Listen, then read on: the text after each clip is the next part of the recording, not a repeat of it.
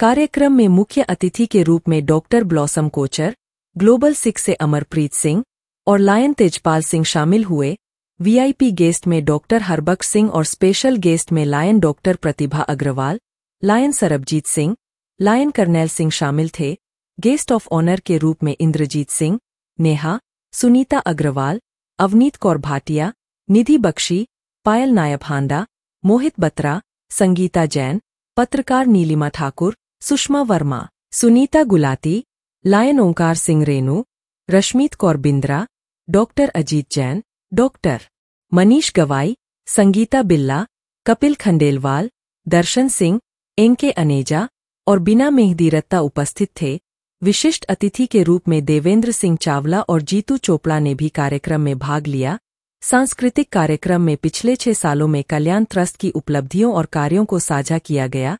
बच्चों की प्रस्तुतियों और प्रतिभाओं ने सभी को प्रभावित किया। कल्याण ट्रस्ट की फाउंडर इंद्रजीत कौर ने सभी को सामाजिक कार्यों में भाग लेने और जरूरतमंदों की मदद करने का आग्रह किया। उन्होंने सभी वॉलंटियर्स और सहयोगियों का आभार व्यक्त किया, जिन्होंने संस्था के उद्देश्यों को पूरा करने में महत्वपूर्ण भूमिका निभाई। यहाँ पे सिक्स फाउंडेशन डे सेलिब्रेशन हो रहा है और कल्याण ट्रस्ट से मैं काफ़ी टाइम से जुड़ी हुई हूँ। और इंद्रजीत जी का एक सपना था, जो 2018 से उन्होंने शुरू किया और वो सपने में हम सब उनके साथ जुड़ते जा रहे हैं और ये जर्नी खूबसूरत हो रही है। और आज बच्चों ने भी जो परफॉर्मेंस दिया, वो काबिल तारीफ़ था। बच्चों की एनर्जी जो आप देखेंगे, भरपूर एनर्जी थी और कोई नहीं सोच सकता कि स्लम एरिया के बच्चे आज इतना अच्छा परफॉर्म कर रहे हैं। तो इस सबके पीछे इंद्रजीत जी, जो अपनी एनर्जी डाल रही हैं मैं उनको बहुत बहुत शुभकामनाएँ देती हूँ और आगे भी मैं उनका साथ ऐसे ही देती रहूँ में इंद्रजीत कौर जी को धन्यवाद देना चाहूँगा कि आप जिस तरह से समाज की सेवा कर रही है और समाज के जो निधि घटक है, उन लोगों तक पहुँचने का कार्य कर रही है। मैं निश्चित ही यह सेवा ईश्वर सेवा के रूप में जानी जाती है, जिनके माध्यम से देश के तमाम जो ऐसे घटक है, जिन घटकों तक लोग पहुँच नहीं पाते, सरकार पहुँच नहीं पाती है, लेकिन वहाँ तक पहुँचने का काम इंद्रजीत जी बड़ी ताकत के साथ कर रही है और एक महिला के रूप में, एक आदर्श के रूप में वो समाज में एक मैसेज भी दे रही है कि आइए, अब समय आ चुका है कि समाज के लिए कुछ कर गुजर और समाज की सेवा के लिए, हित के लिए हम सामने आए। मैं भी देश का एक राष्ट्रपति पुरस्कार से सम्मानित व्यक्ति हूँ और मैं ऐसे समाज सेवी को बधाई देना चाहूँगा कि जिन्होंने अपनी पहचान ऐसे माध्यम से की है कि जो माध्यम ही समाज के हित के लिए दिया गया है। और कल्याण ट्रस्ट उसके लिए पहचाना जाता है। भविष्य में निश्चित ही मैं सरकार की ओर से भी उनको बधाइयाँ देता हूँ और इन सभी गतिविधियों में हम उन्हें जोड़ना चाहेंगे। आने वाले 12 अगस्त को हमने मैडम को राष्ट्रीय सेवा पुरस्कार से भी सम्मानित करने का संकल्प लिया है।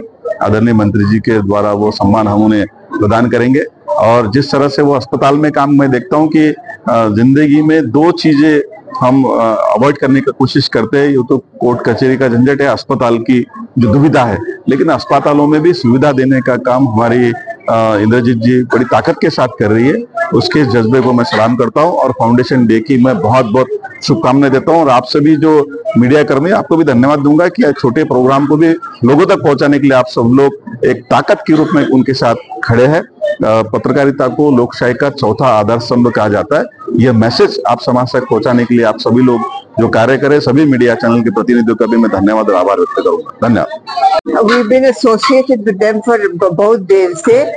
Uh, right from the COVID time when we were giving food. Abhi, Abhi we also help with uh, you know the teaching of the children, giving them a place where the tuition they have tuitions so there also and we been and we also been going to Kashmir along with Kalyan Trust and the and the other Amrit Trust so that we can go and you know the, the Dr. Harbhat Singh we've been going there to give you know book, books and bags and we give for the children books and bags and stationery and also a place to learn so we have been associated there both both days ठीक है okay thank you Kalyan trust के सिर्फ़ foundation day की celebration है उसके उपलब्ध में यही कहना चाहती हूँ कि ये एक बहुत लंबी जर्नी है और इसको बयां कर पाना शायद बहुत मुश्किल होता है।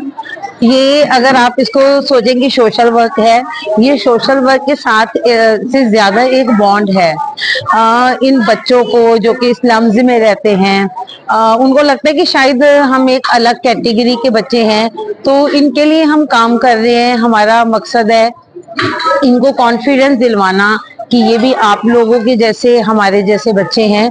और आज ये जो जर्नी है छह साल तक पहुँची है। तो मैं बहुत खुश हूँ क्योंकि आ, खुशी होती है जब आपके साथ लोग भी जुड़ते हैं और एक जगह पे आप कंटिन्यू काम करते हैं और उसके रिज़ल्ट सामने आते हैं। तो आज मैं सिख फाउंडेशन डे मनाते हुए बहुत खुश हूँ। कल्याण ट्रस्ट है चैरिटेबल ट्रस्ट है इनका सिक्स फाउंडेशन डे है आज। तो ये न सिर्फ़ लंगर सेवा करते हैं, इनकी लंगर सेवा हॉस्पिटलों में होती है और इनका कल्याण स्टडी सेंटर भी है। इनके जो साथ में ब्लॉसम अरोमा कोचर ब्लॉसम जो कंपनी है, उन लोगों ने इनके साथ सहयोग किया। ना यहाँ की, बल्कि जम्मू कश्मीर में भी। त्राल में इन्होंने मेरे साथ दो प्रोजेक्ट किए हैं, कल्याण वालों ने। और मैं वहाँ से कश्मीर से इसी प्रोग्राम के लिए यहाँ आया हूँ।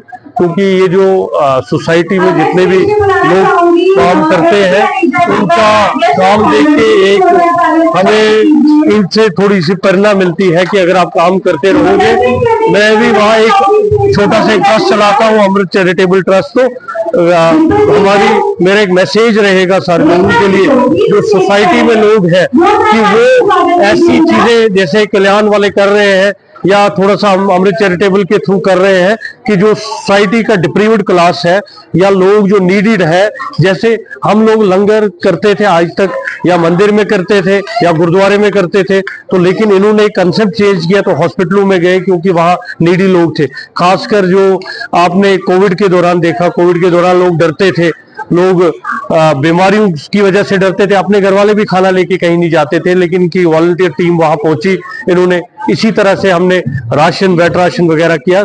तो एक मैसेज जाता है कि अगर हमने सोसाइटी की अपलिफ्टमेंट के लिए कुछ करना है तो ऐसे इनिशिएटिव्स को लेना बहुत ज़रूरी थैंक यू मैं अपने आप को बहुत ही सौभाग्यशाली समझ रहा हूँ कि मैं कल्याण से जुड़ा हूँ और मैंने इसको पाया कि बहुत ही सेल्फलेस सर्विस है, कोई एजेंडा नहीं है, एक सर्वसी है इनका मोटो तो मैंने खुद जाकर सेवा की है और मुझे बड़ा ही सुकून मिला है।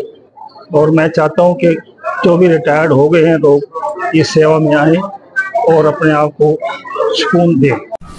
मयूर विहार दिल्ली से मारीदास की रिपोर्ट देखते रहिए आपका। अपना चैनल आंचलिक खबरें अपनों की खबर आप तक।